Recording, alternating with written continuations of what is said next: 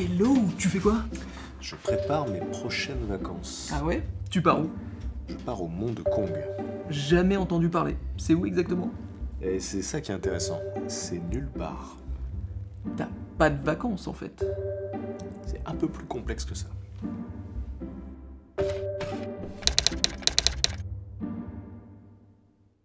En 1818, la carte du monde est en train de se dessiner, et là une chaîne de montagnes apparaît mystérieusement. Faut pas voir le mystère partout, hein. Soit il y a des montagnes, soit il y en a pas. En tout cas, à l'époque, on parle des monts de la Lune et des montagnes de Kong. Tu vois, c'est là. Et tant qu'on reste sur la carte, c'est plutôt pas mal. En 1789, le cartographe anglais James Rennell C'est moi. mentionne pour la première fois les mystérieux monts de Kong, une immense chaîne de montagnes située au cœur de l'Afrique. Rennell a utilisé les données géographiques de l'explorateur Mungo Park, mais Park n'a jamais fait allusion aux monts de Kong. Jamais. En fait, la ville de Kong existe, mais il a dû s'inspirer de la légende de Ptolémée, qui au IIe siècle évoquait les montagnes de Lune, où d'après lui se trouvaient les sources du Nil. Mais il y a rien à cet endroit. Et tu trouves pas ça intrigant? C'est sûrement l'une des premières fake news de l'histoire. Mais qui a cru à ça? Tout le monde, et pendant près d'un siècle. Mais non. Du coup, en Angleterre et en France, les monts de Kong sont cités sur les cartes comme dans les livres de géographie.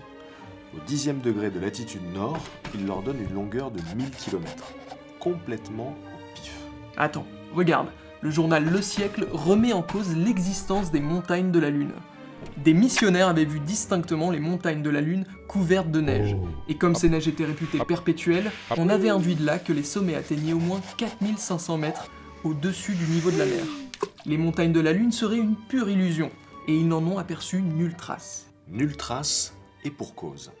Et comment ils ont découvert la vérité? Bah, finalement, c'est Louis-Gustave Binger, explorateur de son état, qui va révéler la supercherie au cours d'une mission de reconnaissance du fleuve Niger en 1889. À l'horizon, on n'aperçoit même pas une ride de collines.